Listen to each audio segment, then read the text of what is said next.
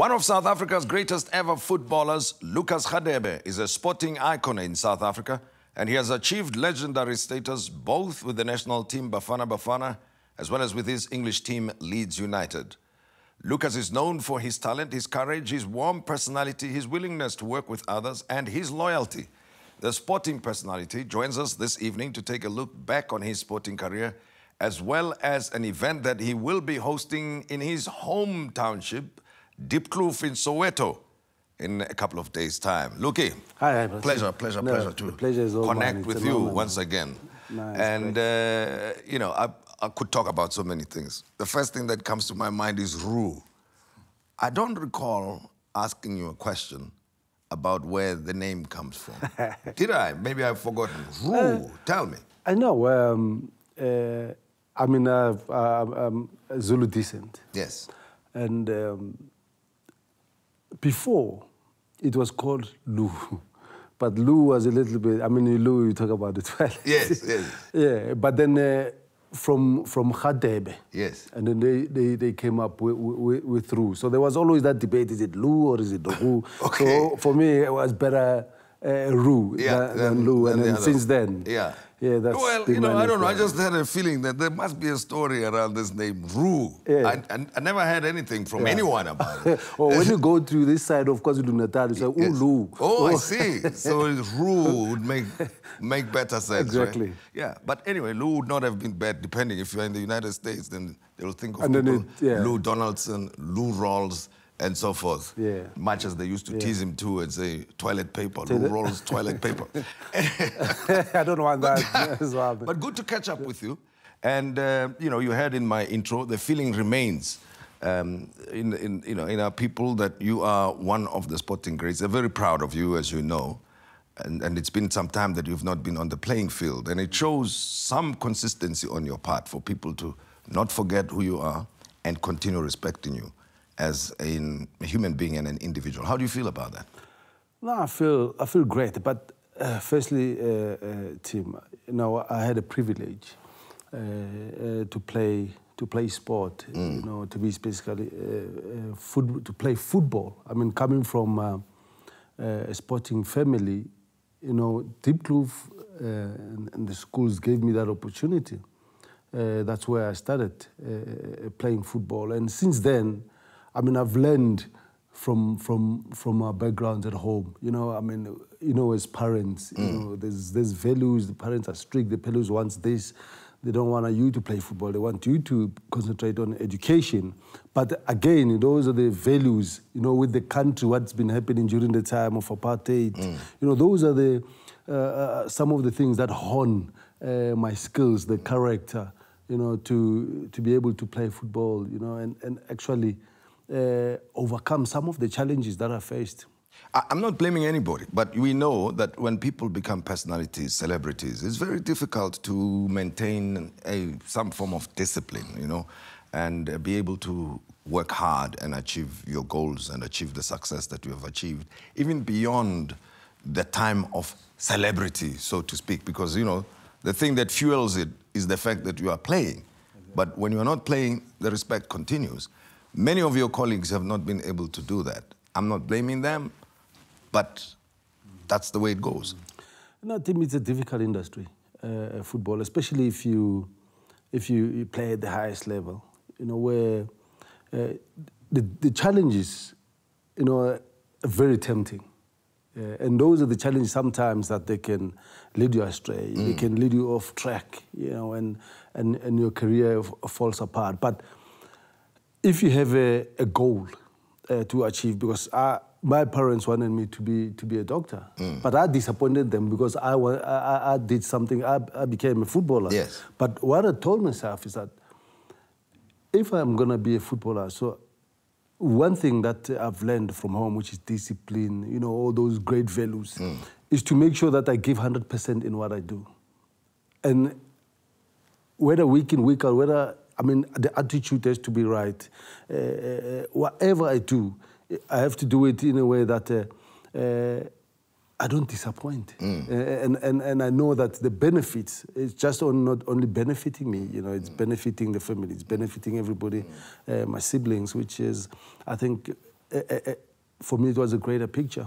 Well, and of course, benefiting a lot of people who feel great that they have a hero in you. What have you been up to? You haven't been playing for some time, and uh, when we, our national team is battling in the way that it is, somewhere people feel, why is Lucas and some of his former colleagues, why are they not cracking the whip somehow and just getting in there and cleaning up whatever needs to be cleaned up? What is different between what is happening with the national team now to what was happening in your time with Neil Tovey and the other guys? Because, you know, we could bet on you. Yeah. Definitely. Yeah. Whether you wanted to win or not, we expected that win anyway. So we could sleep at night knowing that the job will be done the next morning or the next afternoon.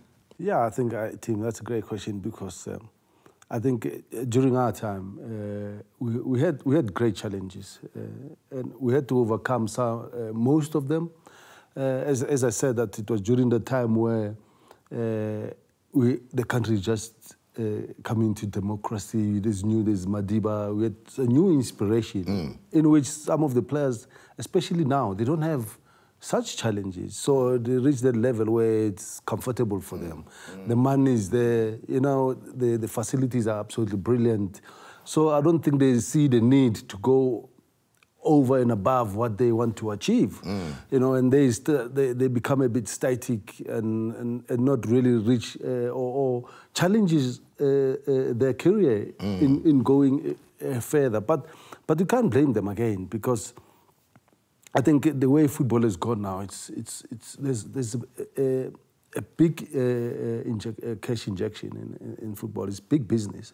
And each and every one of them, they, they're looking at at benefiting themselves, yes. and, you know, and which it distract uh, their focus mm. uh, to where they want to go. Or because, I mean, if it, there's no, if you look at in the game, there's no loyalty anymore. There's no accountability yes. anymore. We, yes. And the passion is is gone. Yeah. You know, which which is a worry. But I think some of us, yes, we would love to get because you know, Tim. I, I think most people expect ex-players to be coaches, to be involved. And, and I've always set a stall for myself and said, you know, I, I, I'm not going to be a coach because that's not my passion. Yes. But my passion lies in developing the structures of football. Sure.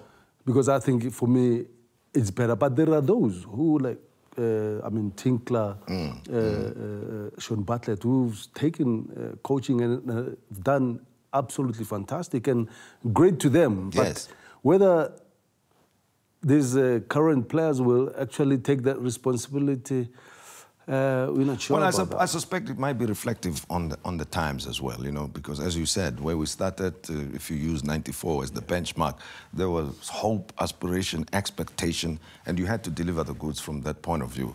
Now, at least in practical terms, you have taken all the things that you've told me about and you are channeling them to the tournament that you are having on Thursday, right? Yes. In uh, in Soweto. Tell me more. I mean, there are eight schools that are taking part there. There's there's eight schools that are taking part. Uh, seven of them are from Diepkloof. I mean, that's uh, that's where I come from. Yeah. And the one is the, a school from Orlando, Orlando High. Mm. You know, during the uprising, that was the one school that was involved, mm. and uh, and we we thought, you know, it'd be great uh, for them to get involved mm. because moving forward we want to grow the tournament. But uh, what we wanted to do is to create the interest, uh, not only for the, the, schools football, but as well for the community. I mean, this is where uh, in Diepkloof Zone 5, where I played against Shoes Moshoeu, playing for Namedi, Madibane High School, you know, some of the great players who, who, have, who have played in the top leagues, uh, they've, they've uh, graced uh, those facilities. And, and for me, especially in June the 16th, it's, it's in memory of my mother. Mm. You know, she was, uh, she was a, community builder. Uh, she owned a football team, mm-hmm. a, a, netball team, a choir, crèche. She did everything. And uh, I think for me, it was fitting that, you know, for a start, you know, I do, I do not only for, for, for that, but uh, the community of Diepkloof, those are where I've started playing yes, football yes. and, and, the facilities uh, where I've started, you know, just to, to uplift uh, and, and, and, and, and get more uh, uh, participation more than anything else, you know, youth to, to participate. I mean, you know the challenges in the townships. You know, But, but so, it's, so uh, this is going to be what format? It's a knockout type challenge? it's a knockout. It's a knockout uh, uh, uh, uh, uh, challenge where you got. I mean, it starts half past nine in the morning. Yeah. Uh, the kickoff uh, until around. I think we're looking at the final to be.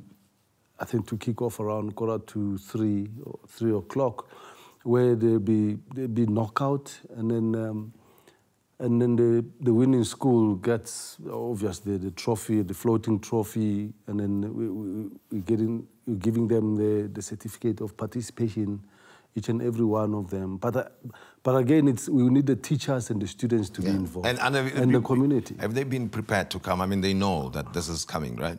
We- At we- least the schools themselves. The schools know. Because They- they've got to come. I remember in the past, I mean, Yeah. it's one thing to play, but you Exactly. also need the cheerleaders. Exactly. And all these wengus around there. to- yeah. I mean, I mean, the, uh, we uh, last week we had a meeting with all the uh, the, the, the the teachers and and the, the, the sports masters they call because we we we used to just to turn up. Uh, for us, we used to just turn up and. Uh, But now I think because of the disruptions, there wasn't much of football played in the schools uh, recently. So yes, the organization was a bit of a, of a challenge, but we made sure that uh, we we alerted them in time and we got in, in touch with them and have meetings with them so that they can. Is this a once-off event or it's going to be repeated going forward?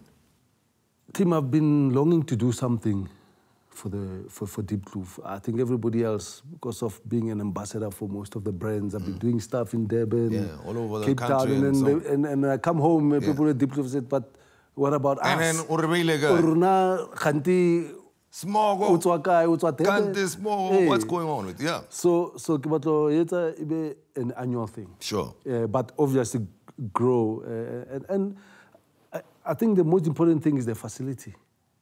There, where, where it is, Yes. uh, Ko- Koko Zone 5, Koko Diepkloof, where I think it will attract Yeah. a lot of people and, and the community brings the, the community Well, together.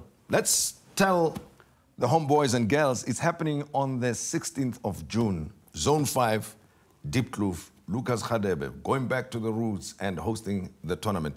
Everything of the best, and I hope you'll give us feedback then. No, I will do definitely, All uh, right. Tim. I mean, uh, it's great that uh, I get the support of uh, people like you, and uh, and I hope it'll be a great success, and and we'll be able to to unearth talent. there, you Exactly. know? And uh, of course, mentorship, inspiration that we were talking about as well. People looking for that. Lucas Radebe, matchup.